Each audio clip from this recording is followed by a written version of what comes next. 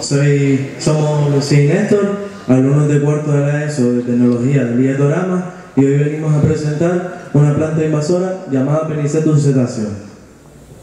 Y antes que nada, quería agradecer a la Escuela de Ingenierías Industriales y Civiles por habernos dejado participar en este proyecto llamado Acerca de la Ingeniería. Somos de Moya, un municipio al norte de Gran Canaria. Nuestro municipio se destaca por ser uno de los más verdes de la isla y forma parte del Parque Rural de Dorama. ¿Qué es el Penicetum cetáceo? Pues el Penicetum cetáceo, más conocido como rabo de gato, es una especie proveniente de África, es una especie invasora proveniente de África, que generalmente sale en lugares donde no haya vegetación, así como orillas de carretera y aceras. Tiene una alta capacidad de dispersión, que pone en riesgo al equilibrio, al equilibrio del ecosistema, ya que se reproduce por el viento. Esta especie es muy resistente al fuego, a la sequía y a las altas temperaturas, y se adapta a cualquier tipo de suelo.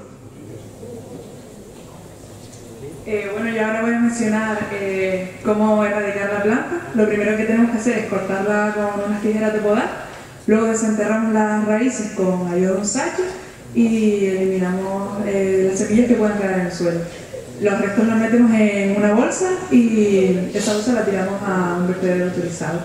los restos no se deben utilizar para hacer compost y una vez que terminemos la erradicación eh, debemos hacer una restauración de la zona para que no vuelva a aparecer eh, especies invasoras.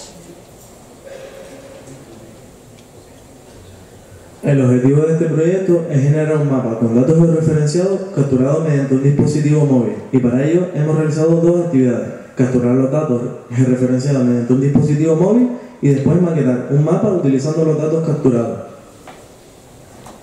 Eh, la geolocalización es la localización geográfica de un lugar, persona o cosa en un momento determinado. Si nos apoyamos en un sistema de información geográfica, podemos determinar eh, una posición significativa de un elemento y georreferencial.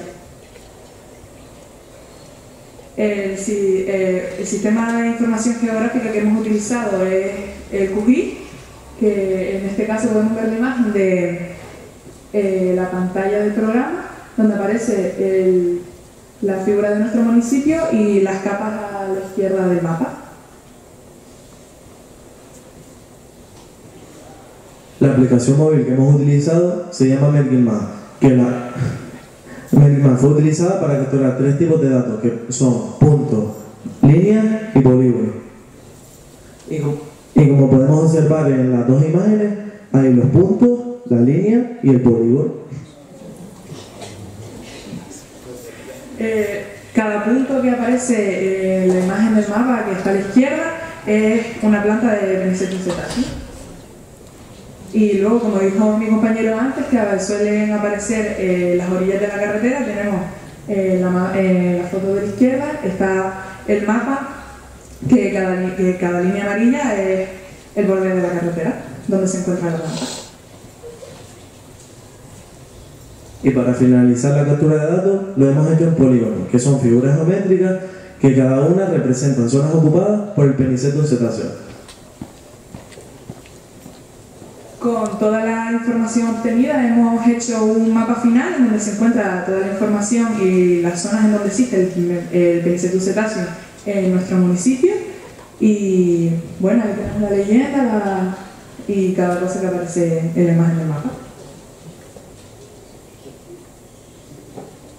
Y para finalizar, hemos hecho un mapa en detalle del norte de nuestro municipio, en donde más hemos encontrado penicetum cetáceo. Como podemos ver, no se aprecia mucho, pero hay polígonos, los puntos y las líneas. Y creemos que hay más penicetum cetáceo en el norte de nuestro municipio, ya que hay menos altitud, más temperatura y más tránsito de coches y vehículos. Y así facilitan que el penicetum cetáceo se reproduzca más por el viento. Em, bueno, para terminar queríamos decir que hemos descubierto que hay eh, nuevas especies invasoras en la isla, sobre todo en nuestro municipio, y hemos aprendido también a cómo erradicarlas. Eh, hemos descubierto conceptos nuevos como georreferenciación y geoide, etc. Eh, hemos trabajado con nuevos software y nuevas aplicaciones y sobre todo que hemos descubierto que hay nuevas salidas profesionales. Eh, muchas gracias y también a la escuela por invitarnos a...